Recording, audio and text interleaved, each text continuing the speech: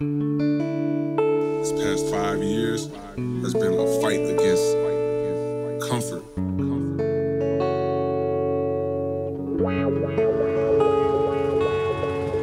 This is the moment that a lot of your favorite rappers hit a crossroad where they did what they set out to do, and then the fruits of their labor started working against them. Uh, it's really just an impact to inspire people. We don't